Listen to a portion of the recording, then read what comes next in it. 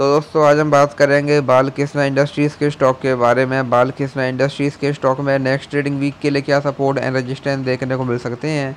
उसके बारे में आज इस वीडियो में बात करेंगे। हम अगर यहाँ पर स्टॉक की बात करें तो हम देखेंगे जो ये स्टॉक है, ये हमको पहले यहाँ पर लगातार के लिए डाउन ट्रेंड में देखने को मिल रहा था। पहले हमको स्टॉक में लोअर लो लोअर हाई वाला पैटर्न यहाँ पर देखने को मिल रहा था।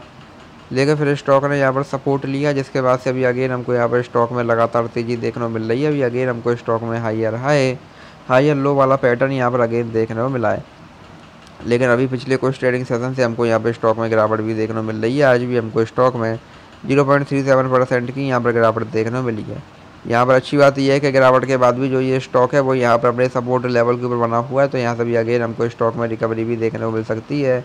यहाँ से अगर अब स्टॉक में रिकवरी आती है तो यहाँ से अब रिकवरी की कंडीशन में हमारे पास यहाँ पर स्टॉक में थ्री टू थ्री टू का पहला यहाँ पर रजिस्टेंस देखने को मिलेगा। अगर स्टॉक इसको भी यहाँ ब्रेक करता है देन यहाँ से हमको स्टॉक में थ्री थ्री सिक्स नाइन और अगर स्टॉक ने इसको भी यहाँ ब्रेक किया देन यहाँ से हमको स्टॉक में अगेन एक बड़ी तेज़ी, एक बड़ी बाइंग यहाँ पर देखने को मिल सकती है।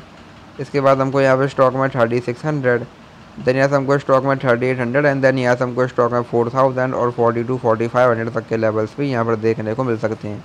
वही यहाँ से अब अगर स्टॉक में गिरावट आती है तो यहाँ से अब गिरावट की कंडीशन में हमारे पास यहाँ पर स्टॉक में थ्री ज़ीरो नाइन एट का पहला यहाँ पर सपोर्ट देखने को मिलेगा। अगर स्टॉक इसको भी यहाँ ब्रेक करता है देन यहाँ से हमको स्टॉक में टू एट फोर फोर और टू सिक्स सेवन तक के लेवल्स भी यहाँ पर देखने को मिल सकते हैं ऐसे नेक्स्ट यहाँ पर सपोर्ट तो ये स्टॉक में कुछ इंपॉर्टेंट लेवल्स हैं, आप इन पर ध्यान दे सकते हैं। बाकी वीडियो में कोई बाय सेल होल्डिंग सलाह नहीं है।